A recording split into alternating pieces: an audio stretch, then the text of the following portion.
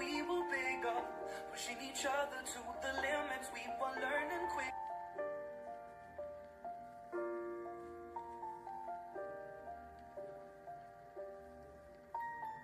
Once I was seven years old, my mama told me, go make yourself some friends or